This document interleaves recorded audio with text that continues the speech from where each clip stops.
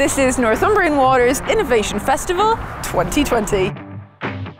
40 topics, 21 sprints, 8 years worth of work in a week. Good morning, everybody. And I guess I need to say good afternoon, good evening, as I welcome everybody from around the globe to our first Digital Innovation Festival. We logged on this morning and were inspired by some great guest speakers. What is the challenge that they are going to be cracking? Problem solving. It's trying to do things in a different way.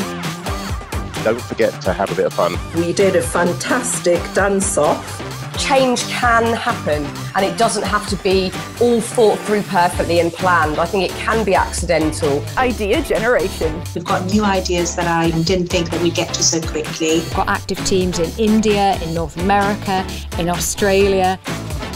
It's been a fantastic week so far. We're now focusing on technology that can help our field-based people stay safe. Mute. You're on mute. People are being so creative. We've got such a diverse audience. No other organisation, no other group of people is making a difference on this scale. We feel so proud to be a part of this.